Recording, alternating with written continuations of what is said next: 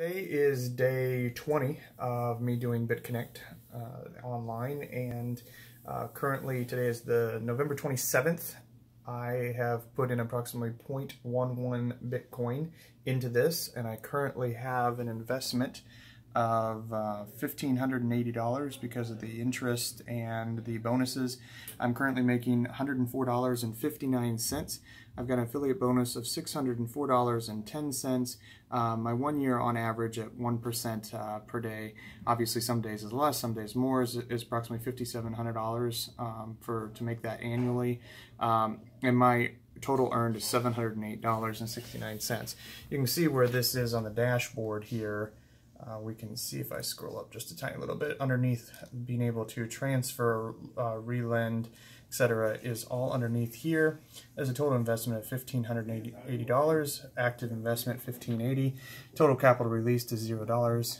Uh, obviously, I've just been into this, and if you have to have your capital in there for like 200 days, it's going to take a while. Uh, total of profit is $104, and uh, etc. That's the same numbers. I just kind of keep track of this information in my Evernote uh, and I just kind of started keeping track of that about four days, uh, four entries ago.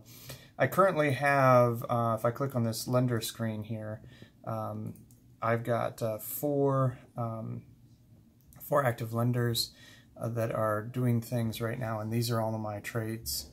Um, it looks to be like I'm, I was getting about $10 a day, and now I'm getting about $20 a day. Uh, tomorrow and the next couple days, I'm going to start keeping track of how much my uh, reinvestments that I'm unable to put back in, and I believe that I'm actually going to transfer that out every day uh, and back into Bitcoin because it's kind of pointless just to sit in my lending wallet every day and not be able to really really do anything with it because it requires ten dollars to do something with that and so it's just going to sit there. And tomorrow i'm going to get more than you know more than ten dollars and so i'm going to basically kind of be right at the same point every day.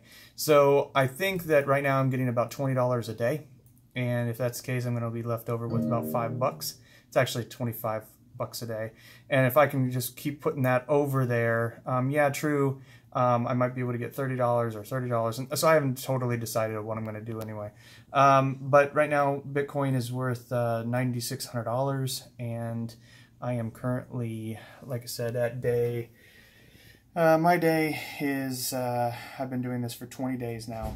And uh, I'm getting roughly about $15.80 a day in uh, interest and uh, things like that from the money that I have invested.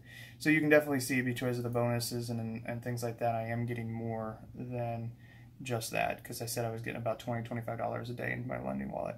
So I'm going to start to try to figure out a way of keeping track of how much money I'm getting into the lending wallet um, so I can kind of uh, expedite that a little bit more. Anyway, that is, uh, uh, that is my Bitcoin uh, BitConnect update for day 20.